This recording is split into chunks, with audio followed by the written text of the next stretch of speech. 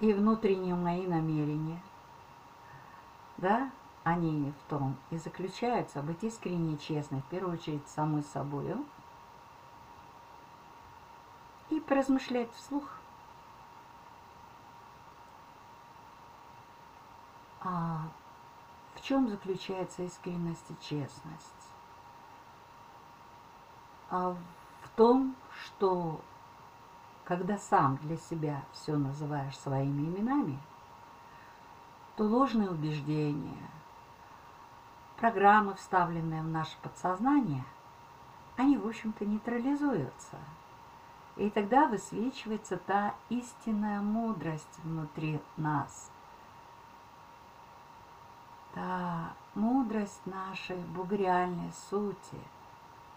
И тогда то, что происходит с нами вовне – воспринимается совершенно а, в другом видении.